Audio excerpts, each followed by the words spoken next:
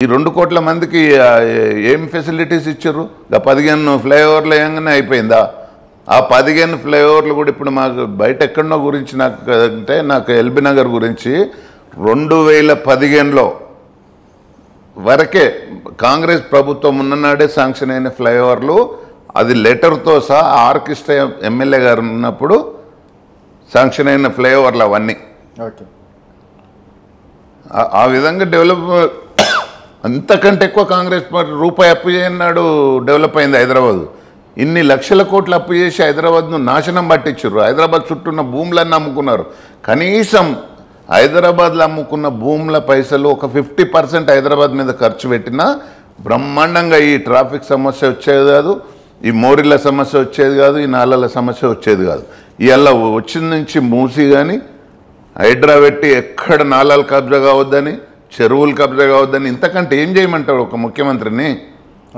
అయితే కాంగ్రెస్ పార్టీ అంటేనే corruption party scam scam చేసే పార్టీకే కాంగ్రెస్ పార్టీకి ఉంది. అండ్ ఈ నాలుగున్నర సంవత్సరాల్లో మీరు ఇంత అద్భుతంగా ఎట్లా తీర్చిదిద్దుతారు? మీరు ఏడు వేల కోట్లు అప్పులే కడుతున్నారు.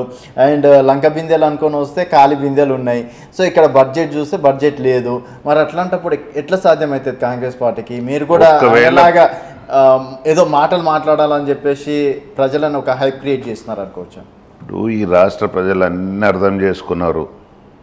ఇప్పటికే ఈ రాష్ట్రాన్ని ముంచేసిండు కేసీఆర్. ఇంకా ఒక్కసారి ఈసారి కాంగ్రెస్ రాకపోతే ఇక అసలు ఈ రాష్ట్రం అనేది అధోగతి పట్టి పరిస్థితి ఉండే. కాబట్టి ప్రజలు మార్పు కోరిరు. మార్చి కాంగ్రెస్ పార్టీకి అధికారం ఇచ్చారు. ఇప్పుడు ప్రాంతీయ పార్టీకి కానీ కేసీఆర్కి కానీ ఆయనకు ఎవ్వడు అడ్డం లేడు. ఒక ఎమ్మెల్యే కానీ ఒక మంత్రి కానీ ఎవరన్నా అడిగేటోళ్ళు ఉండేనా క్లియర్గా చెప్పు రాజు నువ్వు అంత వాస్తవం చెప్పు నువ్వు. లేదు. మాటలు మస్తుగా చెప్పొచ్చు. అందరు చూస్తూనే ఉంటారు ఇవన్నీ. అదే కాంగ్రెస్ పార్టీ ఉంటే ఒకవేళ ముఖ్యమంత్రి తప్పు చేసినా మంత్రి తప్పు చేసినా మాకు పైన అడిగేటోళ్ళు ఉన్నారు. మా దగ్గర ఉన్న మంత్రులకే అందరికీ స్వాతంత్రం. ఎక్కడన్నా తప్పు జరిగితే ఎంబటే చెప్ చెప్తారు. ఇప్పుడు వాళ్ళ క్యాబినెట్ మీటింగ్లో వచ్చి సంతకాలు పెట్టి చాయ్ బిస్కెట్ దీనికి పోయేటోళ్ళే కదా. ఈడ మా క్యాబినెట్ మీటింగ్లో అట్లుంటారా? గ్యారంటీగా ప్రతిదీ డిస్కస్ చేస్తారు. ప్రతిదీ ఇక్కడ మిస్యూజ్ అవుతుందంటే ప్రతి ఒక్కరు అడిగే విధంగా కాంగ్రెస్ పాలన ఉంటుంది. కాంగ్రెస్లో ఫ్రాడ్ అనేది ఎదుటోడు లొల్లి అంటే బయటికి అందరికీ స్వతంత్రం ఎక్కువ కదా అడిగటానికి. ఆ విధంగా జ జరుగుతుంది తప్ప ఇప్పుడు అదే కేసీఆర్ దగ్గర కుయ్యమనకుండా వచ్చి కూర్చుండ్రి సంతకాలు పెట్టిపోయారు. ఎవరన్నా సింగిల్ మెన్ డిసిషన్ లేకపోతే వాళ్ళ కుటుంబ డిసిషనే కదా.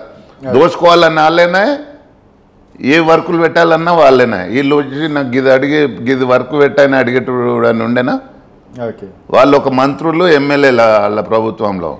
ఇవాళ మా ప్రభుత్వంలో ప్ర- ప్రతి మంత్రి ఈక్వల్ టు సీఎం లాగా ఫీల్ అవుతారు.